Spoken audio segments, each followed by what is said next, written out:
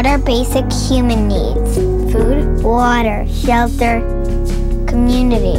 Who makes a society? Families, Leaders? teachers, tailors, farmers. Warriors. What happens when cultures clash? Battle. Intolerance, Immigration? destruction, Borders. segregation, innovation, How do my actions impact the global environment? Pollution, development, conservation, prosperity, imbalance, Extinction. expansion, Knowledge? growth.